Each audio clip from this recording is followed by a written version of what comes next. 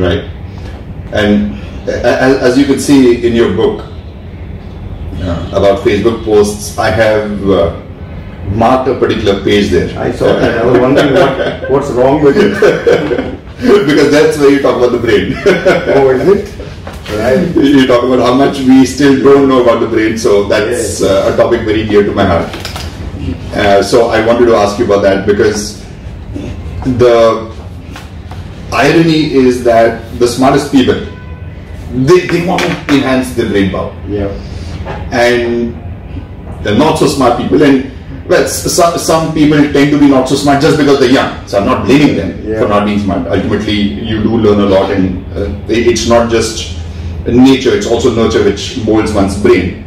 But they don't have an appreciation for thinking. Uh, there's no thinking taught in schools. Yeah, all schools think that all you have to do is just make people get knowledge, just Yes. take in knowledge, and somehow that knowledge will reorganize itself to form something useful. That does not happen just like that. Yes. So, uh, I, I was, so I was just wondering if uh, you could talk a little more about that, and if you want to uh, give some success tips about thinking, some model, or just um, some way to think better, or to take better decisions, or to achieve success, something of that sort. So these, these are two questions. Let me split my reply.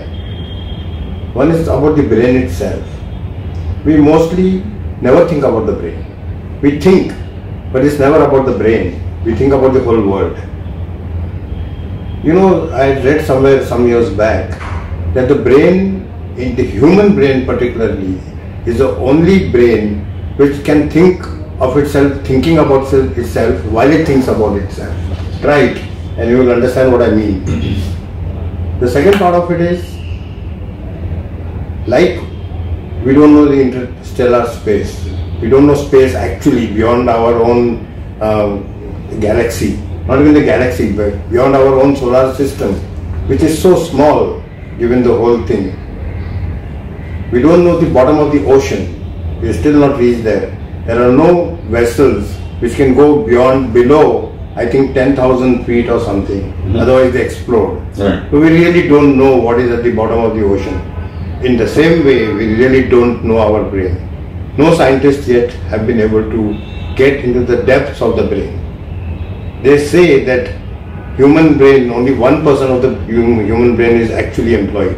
Now we don't know, this is conjecture. But the brain is so vast, it's bigger than the universe.